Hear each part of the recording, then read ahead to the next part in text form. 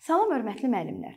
Mən Mustafayeva Şöləm, Təhsildə Araşdırma və İnkişaf Mərkəzi TAIM-in metodika üzrə təlimçisiyəm. Bildiyiniz kimi artıq test bankımız sizlərə təqdim olunubdu və həmin test bankından şagird yönümlü təlimin təşkili mövzusunda bir 43-cü suala baxacağıq sizlərlə bir yerdə. Gəlin suala keçək. Deməli, sualda qeyd olunur ki, müəllim şagirdlərə dərs prosesindən mövzu ilə maraqlı, mövzu ilə bağlı maraqlı bir sual verir. Onlara suala cavab vermək üçün müəyyən vaxt verilir. Təyin edilmiş vaxt bitdikdən sonra demək olar ki, heç kim sualın düzgün cavabını tapa bilmir. Suala düzgün cavabın şagirdlər tərəfindən tapılmasını təmin etmək üçün müəllimin atdığı hansı addım yanlışdır? Ümumiyyətlə verilmiş sual sual-cavab prosesi ilə bağlıdır. Ümumiyyətlə sual-cavab prosesinin düzgün təşkil olunması üçün müəllim bir neçə vacib faktı nəzərə almalıdır. Hər hansısa bir şagirdlər tərəfindən verilən sual həmin müəllim tərəfindən cavablandırılmamalıdır. Müəllim çalışmalıdır ki, sualların cavablarını şagirdlər özləri tapsın. Bunun üçün müxtəlif strategiyalardan istifadə edə bilər. Məsələn, ola bilər şagirdlərə yönəldici suallar verə bilər. Ola bilər şagirdləri istiqamətləndirə bilər və yaxud da müəyyən bir mənbələrə yönəldə bilər. Hansı ki, bunların köməyi ilə şagirdlər özləri suallara cavab tapa biləcəklər. İndi verilmiş situasiyada da biz deyirik ki, şagird tərəfindən sual özləri tapsın deyə müəllim nə edə bilər, amma hansı atdığı addım yanlışdır. Gəlin bir-bir variantlara keçək.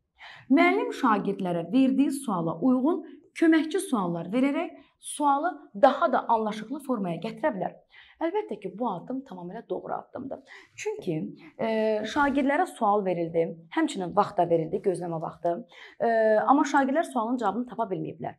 Müəllim şagirdləri istiqamətləndirmək üçün daha sadə suallar verib, köməkçi suallar deyim də, verib şagirdlərə özlərinin cavablarını tapması üçün istiqamət verə bilər. Həmçinin belə halda müəllim fasilitator rolunda həyata keçirmiş olacaq.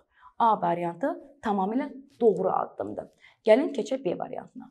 Müəllim düzgün cavab üçün şagirdləri açar məqamların tapılmasına yönəldə bilər. Bəli, şagird əgər suala cavab tapa bilmirsə, müəllim sualın açar məqamlarını şagirdlərə istiqamət verərək özlərinin sual cavab suala cavab tapmasına istiqamət verə bilər. B variantı da doğru yanaşmadır. Gəldik C variantına. Müəllim sualı aydınlaşdırmaq üçün şagirdləri müəyyən mənbələrə yönəldib özlərinin oxuyub cavab tapmalarını təmin edə bilər. Bu cavab da doğru variantdır. Çünki əgər uşaqlar suala cavab tapa bilmədilərsə, müəllim müəyyən mənbə verə bilər ki, hansı ki şagirdlər o mənbəni araşdırıb özləri sualın cavabına gələ bilərlər. Yəni C variantı da doğrudur. Müəllim şagirdləri qruplara bölüb, həmin sualı birlikdə təhlil edib müəyyən nəticəyə gəlmələrini təmin edə bilər. Deməli, şagirdlərin özləri əgər fərdi şəkildə suala cavab tapa bilmirlərsə, müəllim qrup işi verir ki, uşaqlar bir yerdə həmin sualı müzakirə etsinlər. Ola bilər ki, e, qrup zaman, qrup işi zamanı, müzakirə zamanı şagirdlər sualın cavabını tapa bilsinlər.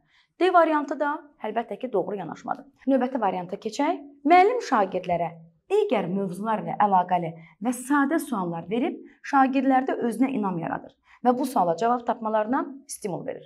Ayrı-ayrılıqda sual bu cavabda heç bir problem yoxdur. Amma gəlin sualı cavabdan uyğunlaşdıraq. Bəyəm şagirdlər özlərinə inam olmadıqlarına mı görə suala cavab tapa bilməmişlər? Əlbəttə ki, situasiyada belə bir şey qeyd olunmayıbdı. Və yaxud da səhv etməkdən qorxduqları mı üçün e, suala cavab verməyiblər? Yox, sadəcə müəllim sualı ünvanlayıb şagirdlər suala cavab verməyiblər. Belə halda müəllimin onların özünə inam yaratması üçün sadə suallar, başqa mövzularla bağlı sadə suallar verib bu suala cavab tapmalarına istiqamətləndirməsi əlbəttə ki, bizim situasiyamıza uyğun olmadı. Ona görə verilmiş situasiyanın yanlış addımı Y variantı oldu. Belə müəllimlər, bir sualın da izahına baxdınız. İzlədiyiniz üçün təşəkkür edirəm.